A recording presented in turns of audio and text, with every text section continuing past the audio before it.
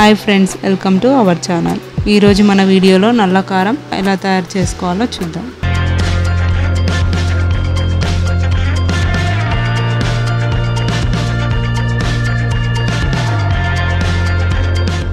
ముందుగా తయారీకి కావలసిన పదార్థాలు. ఎండుమిర్చి ధనియాలు మినపగుళ్ళు శనగపప్పు వెల్లుల్లి రెబ్బలు జీలకర్ర కరివేపాకు. ఎలా తయారు చేయాలో చూద్దాం.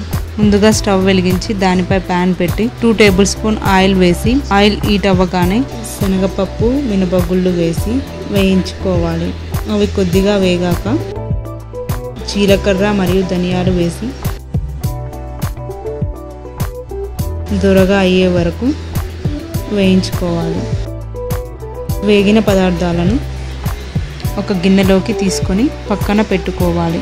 ప్యాన్లో మరికొద్దిగా ఆయిల్ వేసి కరివేపాకును మరియు ఎండుమిర్చిని వేసి వేయించుకోవాలి.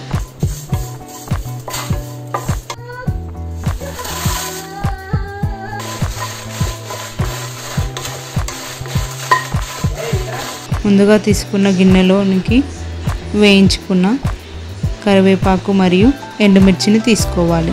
మిక్సీ జార్లోకి తీసుకొని కచ్చాపచ్చాగా గ్రైండ్ చేసి అందులో వెల్లుల్లి రెబ్బలు సాల్ట్ వేసి మరొకసారి గ్రైండ్ చేయాలి. అంతే. ఎంతో టేస్టీ అయిన నల్లకారం రెడీ. దీన్ని రైస్ అండ్ టిఫిన్స్లో కలిపి తింటే చాలా బాగుంటుంది. Thanks for watching.